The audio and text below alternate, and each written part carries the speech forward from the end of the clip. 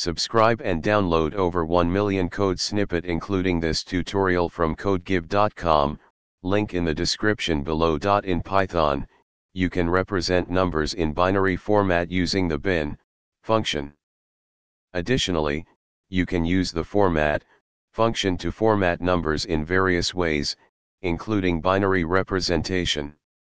This tutorial will guide you through printing numbers in binary format in Python with code examples. The bin function in Python converts an integer to its binary representation. Here's a simple example. Output.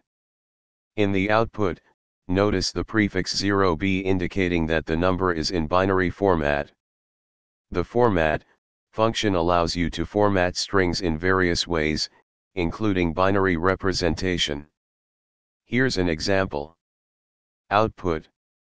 In this example, the B format specifier is used to format the number as binary.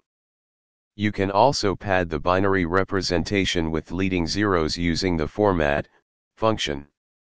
This is useful to ensure a fixed length. Output. In this example, 08B specifies an 8-bit binary representation with leading zeros. Printing binary format in Python is straightforward using the bin function or the format function with the B format specifier.